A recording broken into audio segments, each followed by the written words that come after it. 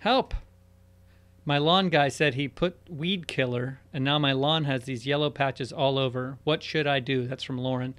So, Lauren, those yellow patches are your dying weeds, but it looks like that weed killer was maybe a too too strong or not the right kind to put on St. Augustine.